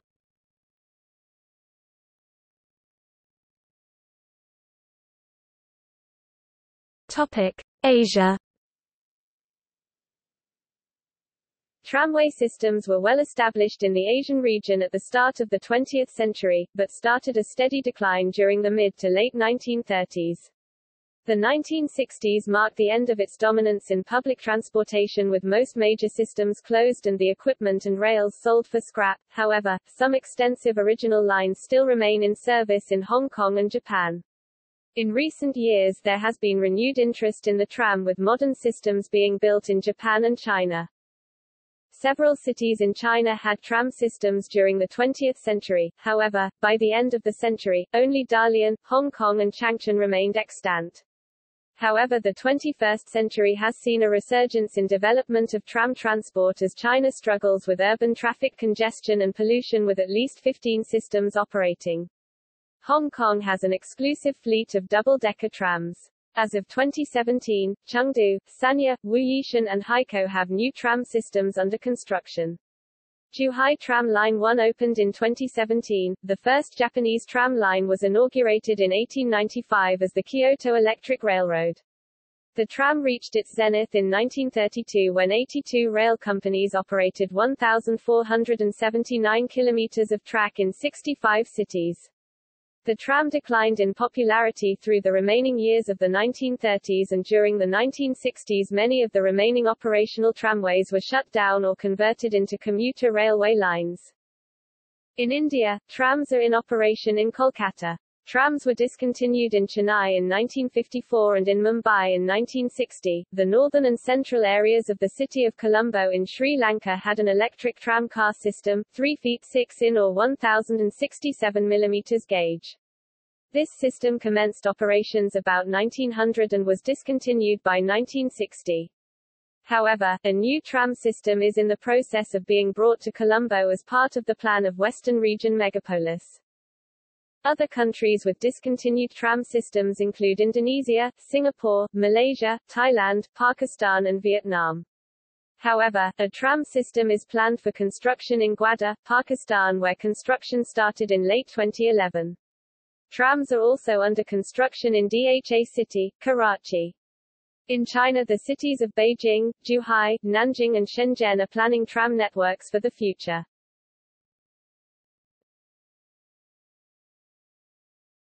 Topic: Europe. In many European cities much tramway infrastructure was lost in the mid-20th century, though not always on the same scale as in other parts of the world such as North America. Most of Central and Eastern Europe retained the majority of its tramway systems and it is here that the largest and busiest tram systems in the world are found. Whereas most systems and vehicles in the tram sector are found in Central and Eastern Europe, in the 1960s and 1970s, tram systems were shut down in many places in Western Europe, however urban transportation has been experiencing a sustained long-running revival since the 1990s. Many European cities are rehabilitating, upgrading, expanding and reconstructing their old tramway lines and building new tramway lines. Topic North America In North America, these vehicles are called streetcars or trolleys. The term tram is more likely to be understood as an aerial tramway or a people mover. Streetcar systems were developed in late 19th to early 20th centuries in a number of cities throughout North America. However, most North American cities saw its streetcar lines removed in the mid-20th century for a variety of financial, technological and social reasons. Exceptions included Boston, Cleveland, Mexico City, New Jersey, New Orleans, Newark, Philadelphia, Pittsburgh, San Francisco, and Toronto. Pittsburgh had kept most of its streetcar system serving the city and many suburbs until severe cutbacks on 27 January 1967, making it the longest-lasting large network U.S. streetcar system, though Pittsburgh's surviving streetcar lines were converted to light rail in the 1980s. San Francisco's Muni Metro system is the largest surviving streetcar system in the United States, and has even revived previously closed streetcar lines such as the F Market and Wharves Heritage streetcar line. Toronto currently has the largest streetcar system in the Americas in terms of track length and ridership, operated by the Toronto Transit Commission. This is the only large-scale streetcar system existing in Canada, not including the light rail systems that some Canadian cities currently operate, or heritage streetcar lines operating only seasonally. Toronto's system currently uses Canadian light rail vehicles and articulated light rail vehicles, after a history of using PCCs, Peter Witt cars, and horse-drawn carriages. The TTC has begun accepting delivery of a fleet of 204 of a variant of Bombardier's Flexity Outlook, also used in some European tram systems, as a replacement. Newer light rail lines in Toronto and Kitchener-Waterloo will be using the Flexity Freedom. Streetcars once existed in Edmonton and Calgary, but both Canadian cities shut down their streetcar systems. In the late 1970s and early 1980s, both cities built and expanded new light rail systems. Streetcars also once operated in cities such as Ottawa, Montreal, Quebec City, Kitchener, Hamilton, Kingston, London, Windsor, Peterborough, Regina, and Saskatoon. Some of these cities have restored their old streetcars and now run them as a heritage feature for tourists, such as the Vancouver Downtown Historic Railway. In a trend started in the 1980s, some American cities have brought back streetcars, examples of these being Memphis, Portland, Tampa, Little Rock, Seattle and Dallas. Prior to 2000, most of these new generation streetcar systems were heritage streetcar lines, using vintage or replica vintage vehicles, but following the 2001 opening of the Portland streetcar system, the first to use modern vehicles, most new U.S. systems have been designed to use modern, low-floor cars. Several additional cities are planning or proposing new streetcar systems, and such systems are under construction in Atlanta, Charlotte, Cincinnati, Dallas, a second system, Detroit, Kansas City, Los Angeles, Milwaukee, Oklahoma City, Tucson, and Washington, D.C. Alternatively, in the late 20th century, several cities installed modern light rail systems, in part along the same corridors as their old streetcars systems, the first of these being the San Diego Trolley in San Diego in 1981.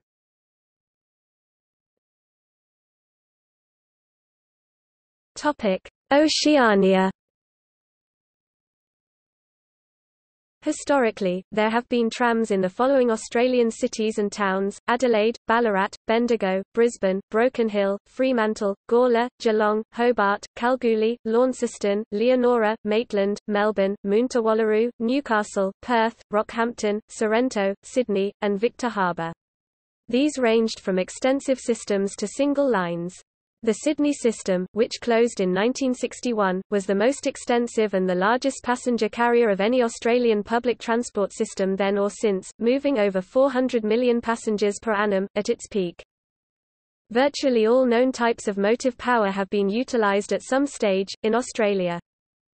Today, trams can be found in Melbourne by length, the world's largest system, and to a lesser extent, Adelaide, all other major cities having largely dismantled their networks by the 1970s. Sydney reintroduced tram services in 1997 on a modern light rail network, while Ballarat and Bendigo retained their trams as heritage systems. In 2008 and 2009, Bendigo conducted trials utilising its heritage trams for regular public transport. Portland, Victoria, introduced a tourist tram in 1996 this uses a former Melbourne cable car dummy and trailer car, but utilising a hidden diesel motor. A completely new public transport system opened on the Gold Coast, Queensland on 20 July 2014, with a major extension completed in December 2017. The new system is known as the G-Link and is the first tram, light rail system in the state of Queensland since Brisbane closed its tram network in 1969. The 2010s has also seen a significant expansion of Sydney's network, while the construction of light rail in Canberra became the major issue of the 2016 ACT election, with the ruling parties supporting the project and the opposition opposing it. The government was returned and Stage 1 of the light rail launched in April 2019. The railway into the centre of Newcastle was truncated to Wickham on 25 December 2014. The railway line was replaced by the Newcastle Light Rail Line in February 2019. There are also loose plans for new systems in Hobart, Tasmania, and on the Sunshine Coast, Queensland. New Zealand's last public transport tramway system, that of Wellington, closed in 1966. Nevertheless, there had been tramways ranging from large, comprehensive systems to single lines, in Auckland, Christchurch, Dunedin, Gisborne, Invercargill, Napier, New Plymouth, Greymouth, Westport, Hokitika, Ross, Brighton, Charleston, Khmer and Kumara. New Zealand's tram gauges were not standardized, the 15 systems used no less than 5 gauges, making swapping of rolling stock from system to system difficult. Christchurch has subsequently reintroduced heritage trams over a new CBD route, but the overhead wiring plus some track was damaged by the earthquake of 2011. In November 2013 a limited circuit was reopened. Auckland has recently introduced heritage trams into the Wynyard area, near the CBD, using former Melbourne trams. On 9 May 2018, two modern tram, light rail routes were announced from Wynyard Quarter, via Queen Street to Auckland Airport via Dominion Road and Onehunga in the south and via Queen Street and Great North Road, Point Chevalier and onto the northwestern motorway to Westgate to be running in the early 2020s with a possible further extension to Kumeu, Huapai. Preserved Auckland trams from the MOTAT have made cameo appearances during Heritage Weeks. Heritage lines exist at Auckland's MOTAT, the Wellington Tramway Museum at Queen Elizabeth Park on the Kapiti Coast, the Tramways Trust Wanganui and the Tramway Historical Society at Ferrymead in Christchurch, as well as the Christchurch Tramway Limited in the central city.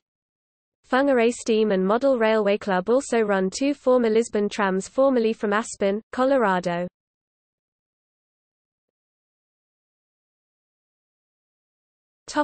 South America. Buenos Aires in Argentina once had one of the most extensive tramway networks in the world with over 857 kilometers 533 miles of track, most of it dismantled during the 1960s in favor of bus transportation. A new line, the Premetro Line E2 system feeding the Line E of the Buenos Aires subway has been operating since 1987 on the outskirts of Buenos Aires. In Cuenca, Ecuador, a tram line started operating since March 2019 as the main public transportation system in the city. The L1 of the Tranvía de Cuenca is 20.4 kilometers long with 20 stops and uses Alstom Citadis 302 trains. The Tranvía del Este in Puerto Madero, Buenos Aires, operated from 2007 to 2012, and it's now dismantled. Also in the city of Mendoza, in Argentina, a new tramway system is currently on service since 2012, the Metro Tranvía of Mendoza, which will have a route of 12.5 kilometers 7.8 miles, and will link five districts of the Greater Mendoza conurbation. In Medellin, Colombia, a tram line began operation on 15 October 2015, as a revival of old Ayacucho Tram. In Santiago, Chile there are plans for a tramway that will connect the comunes of Las Condes, Lo Barnechea y Vitacura. Tranvía de Las Condes Topic incidents In January 1864, well-known Anglo-Australian musician and composer Isaac Nathan was hit and killed by a Sydney horse tram when his clothing was caught in the door, whilst he was attempting to alight. Nathan is reputed to be one of the first tram fatalities in the Southern Hemisphere many sources claim that it was the first such accident. On the morning of 18 August 1901, four masked men, described as urban bushrangers, held up an eastbound horse tram in Riversdale Road, Melbourne, just past Power Street. For their trouble the men received £2 and 10 pence.0 in fares from driver Thomas Taylor, and £21 and 19 pence.0 from eight passengers. One passenger was injured. The bandits were never caught. Contemporary newspapers hypothesized that the bandits were after a specific commuter who traveled regularly on this particular tram and who was in the habit of carrying large amounts of cash. In the Tottenham outrage in 1909, two armed robbers hijacked a tram and were chased by the police in another tram. On 7 June 1926 Catalan architect Antoni Gaudí was knocked down by a Barcelona tram and subsequently died. On 27 February 1930, Paul de Vivie pen name Velocio, godfather of the Derailleur was killed by a tram in Saint-Étienne It is reputed that in the 1930s a murdered body was dragged out of the River Thames in London. The body had been stripped of anything that might have identified him. The only clue to the person's identity was a portion of a tram ticket hidden in the lining of his coat. The local police did not recognize the ticket but images in newspapers led to it being identified as a Melbourne tram ticket. Serendipitously, the serial number on the ticket was intact. Victoria Police in Melbourne, acting as agents for the Met in London, contacted the Melbourne and Metropolitan Tramways Board. From the serial number, the M and MTB were able to tell which tram depot had issued the ticket, on what day and on which specific tram, and in which section of a particular route North Balwyn. Police then interviewed regular commuters and discovered the identity of a man whom, they believed, had recently travelled to London. This led to the arrest and conviction of the murderer. Decades after the event, the M and MTB were still citing the incident in training courses as a reason for tram conductors, etc., to keep proper and efficient records. Topic tram modeling Model trams are popular in Ho scale 1 to 87 and O scale 148 in the US and generally 143, 5 and 145 in Europe and Asia. They are typically powered and will accept plastic figures inside. Common manufacturers are Roco and Lima, with many custom models being made as well. The German firm Hodel and the Austrian Halling specialize in 1 to 87 scale. In the US, Bachmann Industries is a mass supplier of Ho streetcars and kits. Bowser Manufacturing has produced white metal models for over 50 years. There are many boutique vendors offering limited run epoxy and wood models. At the high end are highly detailed brass models which are usually imported from Japan or Korea and can cost in excess of $500. Many of these run on 16.5 mm 0.65 in gauge track, which is correct for the representation of 4 feet 8 and a half in 1435 mm standard gauge in Ho scale as in US and Japan, but incorrect in 4 mm 1 to 76.2 scale, as it represents 4 feet 8 and a half in 1435 mm. This scale, gauge hybrid is called U scale. O-scale trams are also very popular among tram modelers because the increased size allows for more detail and easier crafting of overhead wiring. In the US these models are usually purchased in epoxy or wood kits and some as brass models. The St. Petersburg Tram Company produces highly detailed polyurethane non-powered O-scale models from around the world which can easily be powered by trucks from vendors like Q-Car. In the U.S., one of the best resources for model tram enthusiasts is the East Penn Traction Club of Philadelphia and Trolleyville a website of the Southern California Traction Club. It is thought that the first example of a working model tramcar in the UK built by an amateur for fun was in 1929, when Frank E. Wilson created a replica of London County Council Tramways class car 444 in 116 scale, which he demonstrated at an early model engineer exhibition. Another of his models was London E. 1 1800, which was the only tramway exhibit in the Faraday Memorial Exhibition of 1931. Together with like-minded friends, Frank Wilson went on to found the Tramway and Light Railway Society in 1938, establishing tramway modeling as a hobby.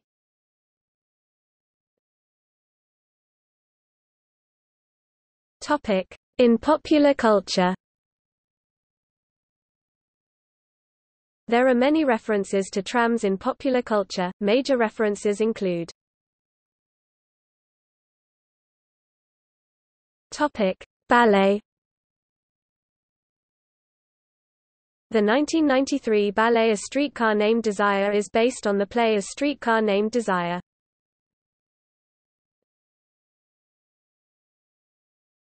Topic: Drama.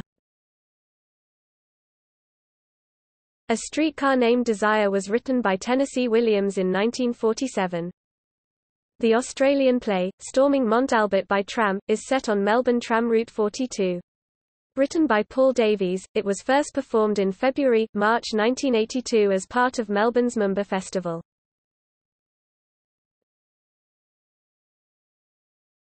Topic. Film Alfred Hitchcock was a well-known rail enthusiast with a particular interest in London trams. An overwhelming majority of his films include rail or tram scenes, in particular The Lady Vanishes, Strangers on a Train and Number 17. Often, when the scene and take numbers appeared on a clapperboard during filming, Hitchcock would translate them into London tram route numbers. For example, if scene 23, take 2, appeared on the clapperboard, he would whisper, Woodford, Wimbledon, the termini of routes 23 and 2. Dziga Vertov's experimental 1929 film Man with a Movie Camera includes shots of trams at 10 and 42 minutes. Black Orpheus 1959, has a lead character, Orfeu, who is a tram driver on Rio de Janeiro's tram system. The central plot of the film Who Framed Roger Rabbit involves Judge Doom, the villain, dismantling the streetcars of Los Angeles.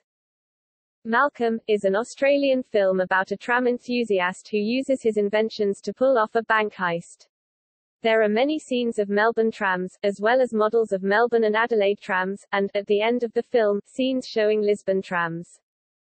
Luis Buñuel filmed La Ilusión Viaja en Tranvía English, Illusion Travels by Streetcar in Mexico in 1953. In Akira Kurosawa's film Dodonshukaren a mentally ill boy pretends to be a tram conductor. The Elephant Will Never Forget, is an 11-minute film made in 1953 by British Transport Films to celebrate the London tram network, at the time of its last few days of operation.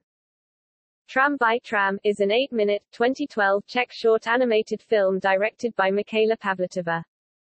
The 1953 British film, Genevieve is about vintage cars and, more particularly, the eccentricities of the car owners. The second part of the movie is about an unauthorized race between Brighton and Westminster Bridge by the film's two leads, played by John Gregson and Kenneth More.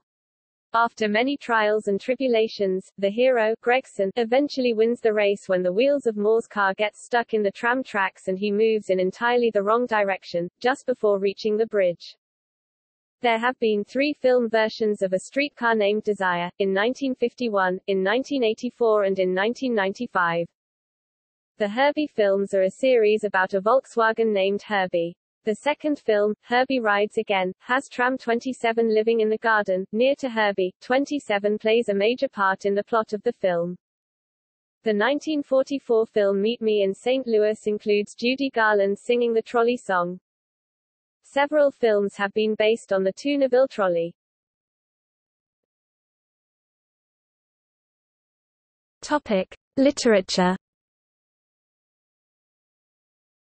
One of the earliest literary references to trams occurs on the second page of Henry James's novel The Europeans. From time to time a strange vehicle drew near to the place where they stood, such a vehicle as the lady at the window, in spite of a considerable acquaintance with human inventions, had never seen before, a huge, low, omnibus, painted in brilliant colors, and decorated apparently with jingling bells, attached to a species of groove in the pavement, through which it was dragged, with a great deal of rumbling, bouncing, and scratching, by a couple of remarkably small horses.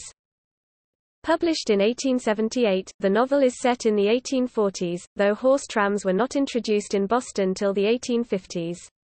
Note how the tram's efficiency surprises the European visitor, how two remarkably small horses suffice to draw the huge tramcar. Henry James also makes comical reference to the novelty and excitement of trams in Portrait of a Lady 1881. Henrietta Stackpole was struck with the fact that ancient Rome had been paved a good deal like New York, and even found an analogy between the deep chariot ruts traceable in the antique street and the overjangled iron grooves which express the intensity of American life. Joseph Conrad described Amsterdam's trams in Chapter 14 of The Mirror of the Sea 1906.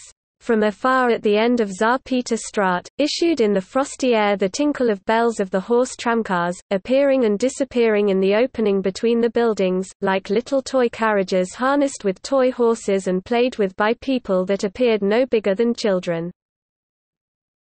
In episode 6 Hades of James Joyce's Ulysses 1918, the party on the way to Paddy Dignam's funeral in a horse-drawn carriage idly debates the merits of various tramway improvements. I can't make out why the corporation doesn't run a tram line from the park gate to the quays, Mr. Bloom said. All those animals could be taken in trucks down to the boats. Instead of blocking up the thoroughfare, Martin Cunningham said. Quite so. They ought to.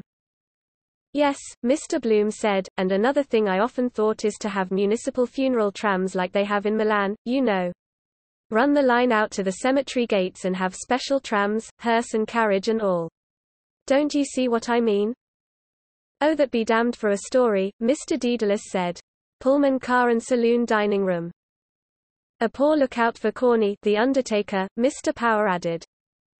Why? Mr. Bloom asked, turning to Mr. Dedalus.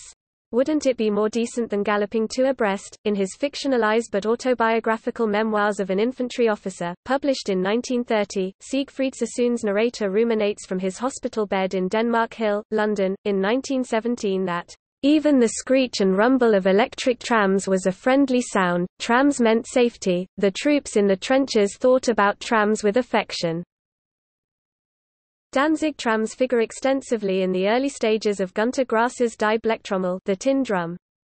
In the last chapter the novel's hero Oskar Matzerath and his friend Gottfried von Vittlar steal a tram late at night from outside Unterrath depot on the northern edge of Dusseldorf.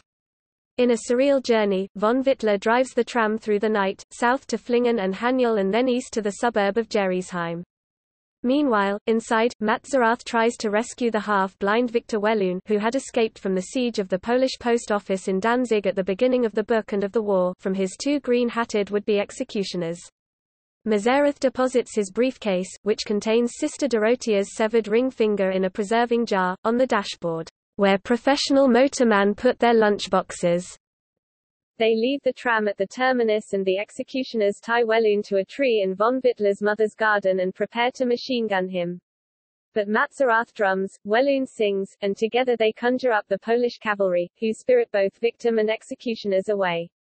Matzerath asks von Vittlar to take his briefcase in the tram to the police HQ in the Fürstenwall, which he does.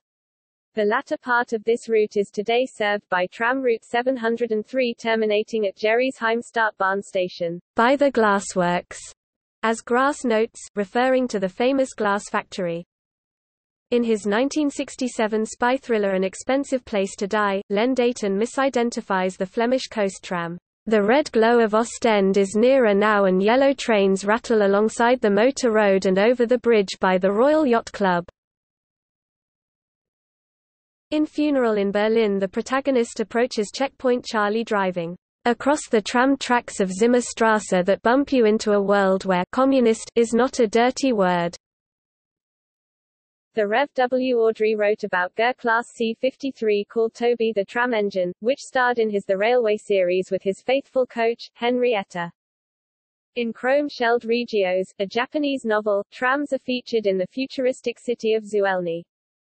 In Haruki Murakami's novel Norwegian Wood, protagonist Toru Watanabe takes Tokyo's only surviving tramline, the Toden Arakawa line, to near Otsuka Station. I Saturday in the last seat and watched the ancient houses passing close to the window.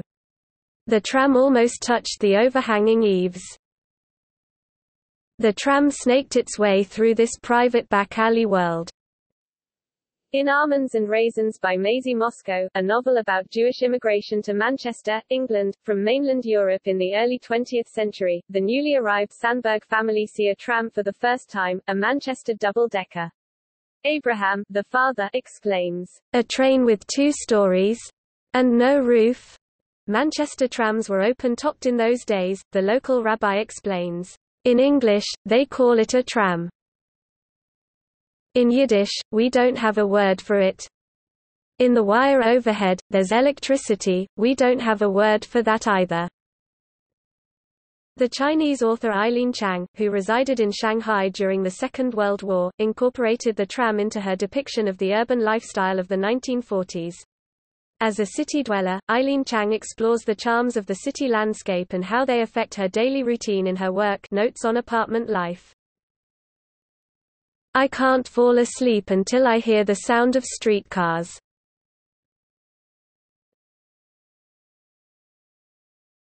Topic: Music. The Trolley Song in the film Meet Me in St. Louis received an Academy Award nomination. The Stompin' Tom Connors song, To It and At It, mentions a man who can't afford the train, he's sittin' on a streetcar, but he's eastbound just the same.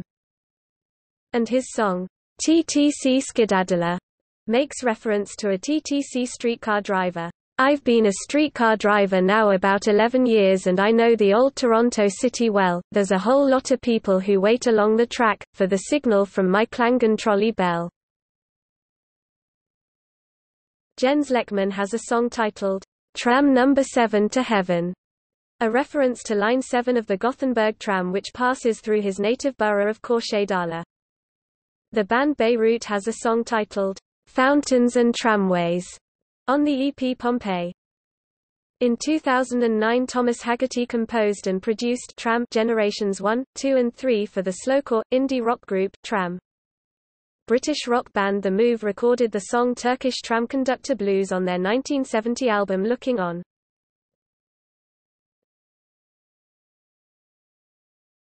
Topic: Opera. The 1995 opera A Streetcar Named Desire is based on the play A Streetcar Named Desire.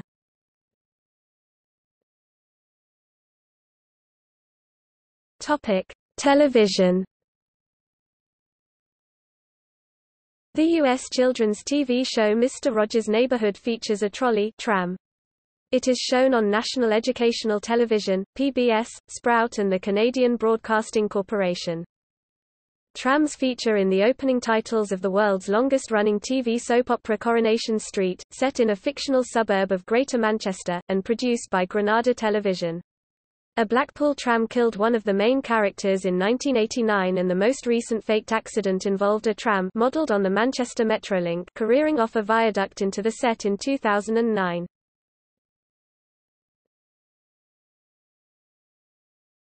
Topic: Visual arts. Tramway is a contemporary visual and performing arts venue located in the Scottish city of Glasgow. Based in the former Coplawhill Glasgow Corporation Tramways depot in the Pollokshields area of the south side, it consists of two performance spaces and two galleries, as well as offering facilities for community and artistic projects. It is claimed to be one of the leading venues of its type in Europe. A major feature of Spencer Street Railway Station, Melbourne from 1978 to 2005 was the giant Cavalcade of Transport mural, measuring 7 by 38 metres 23 by 125 feet. It was financed by the Victorian state government, and painted by Harold Freedman. It features all forms of transport used in Victoria from 1835 to 1978, with trams featuring prominently. A horizontal column of trams shows the progression of vehicle design, with some dozens of trams being illustrated. In 2000, during a revamp and renaming of the station to Southern Cross Railway Station, part of the mural was removed. It was taken down completely in 2005 and, after a cleaning, was in 2007 relocated to Spencer Outlet Centre, adjoining the railway station. A sculpture of Tram 1040, the last numbered of Melbourne's iconic W Class trams was unveiled at the corner of Flinders and Spencer Streets, Melbourne, in October 2013. The sculpture is the work of local artist David Ball. It can be viewed from a number of tram routes, and is just one block from Southern Cross Railway Station. A Melbourne tram is featured in an Albert Tucker painting in his 1945 series Images of Modern Evil. The original is held in the collection of the National Gallery of Victoria.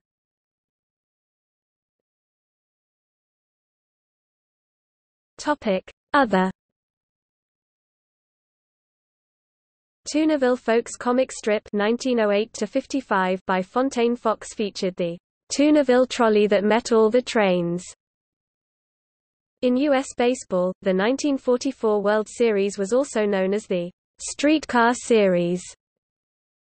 The predominance of trams trolleys in the borough of Brooklyn in New York City gave rise to the disparaging term trolley dodger for residents of the borough. That term, shortened to Dodger, became the nickname for the Brooklyn Dodgers now the Los Angeles Dodgers. A representation of a Melbourne W-type tram featured at the opening ceremony of the 2006 Commonwealth Games in Melbourne.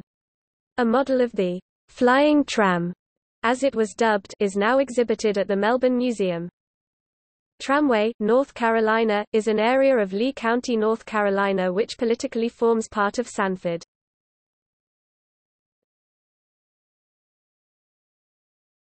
Topic. See also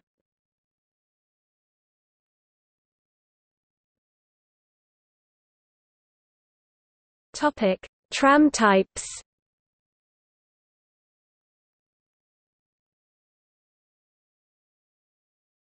Topic: Trams by region. Equals equals equals other topics.